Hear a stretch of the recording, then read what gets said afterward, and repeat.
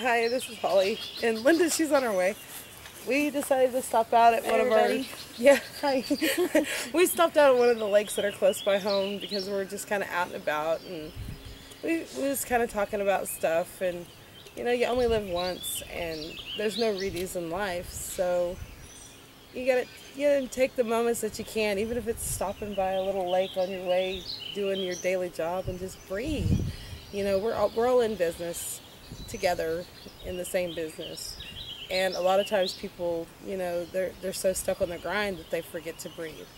Well, if you don't take that time to just take stock of what you, how far you've come in such a short amount of time, whether you're starting, you know, a week ago or you just started today, or if you've been in for a long time and just haven't quite figured out the matrix yet on how to get everything to work together, it's okay. But just remember, you know, you, you got to breathe. You got to take those moments that matter because you're supposed to be enjoying this journey. You only live once.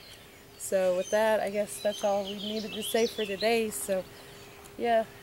And this is Holley and Linda, and we'll see you on the next video. Oh, and before I'm going to show you our cool little tripod setup because it's actually really awesome. We didn't bring our tripod. So two seconds, I'm going to grab the camera.